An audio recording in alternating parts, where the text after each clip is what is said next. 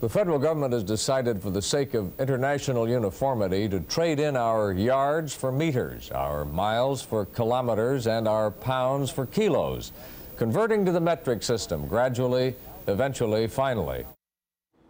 Well, finally has yet to come all these years later when it comes to converting the United States from the English system to the metric system. Americans from Jimmy Carter to Gerald Ford to Thomas Jefferson have tried to do it, and all of them have failed. And now, newly declared presidential candidate Lincoln Chafee, the former governor of Rhode Island, he announced his candidacy this week. He said that he is hoping that he will be the one to finally succeed. Earlier, I said, let's be bold. Here's a bold embrace of internationalism. Let's join the rest of the world and go metric. I happen to live in Canada, and they completed the process. Believe me, it's easy. It doesn't take long before 34 degrees is hot. Only Myanmar, Liberia, and the United States aren't metric, and it will help our economy. Now, Lincoln Chafee's odds of getting the U.S. to finally embrace the metric system are probably about as long as Lincoln Chafee's odds of getting to be the next president of the United States.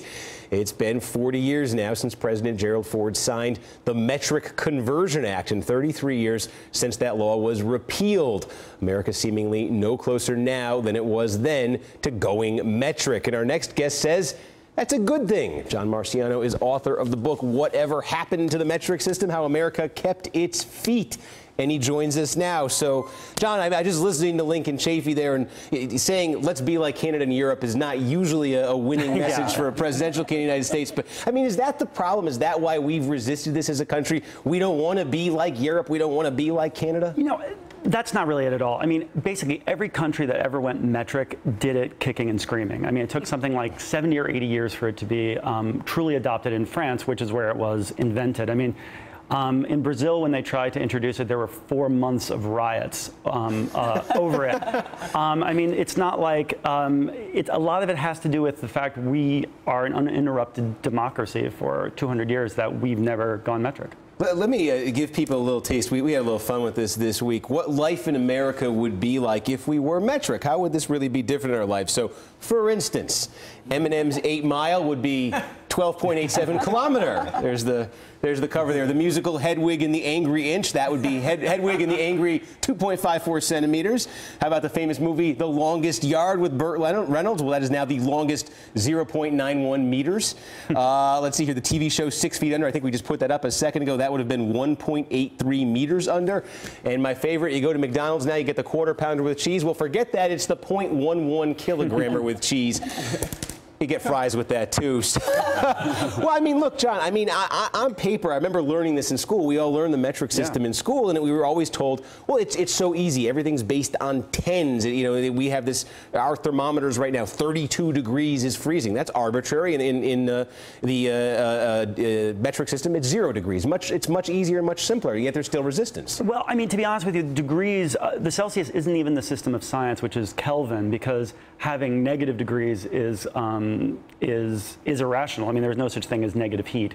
So um, you know, so it's not, it doesn't really have much to do, honestly, with what makes sense and what doesn't. I mean, what always really drove the metric system to becoming an international system was uh, commerce, was, was capitalism. Um, it really didn't have to do with, I mean, if that made sense, then the 10-hour clock, which was also part of the original metric system, would have gone forward too, but... Well, so, so when Lincoln Chafee sits there and he says, look, by the way, this is good for the economy here, is there any evidence that the United States economy would benefit from this? I mean, would our economy be better if we got rid of like, you know, bilingual, you know, packaging? If we save, would we save money, you know, having, um, you know, getting the French and Spanish off of, of packaging? I mean, manufacturing, when there was, there was a big push in the 70s. One thing that's really ironic is one of the big anti-metric activists um, in the 1920s and 30s, when there had been a, a, push for America to go metric, was um, Lincoln Chafee's grandfather, John Chafee. Um, so I don't know, you know, if there's any drama there, but um, the uh, but that was when there that was when there was a big push, and that's when Ford signed the Metric Act in 1975.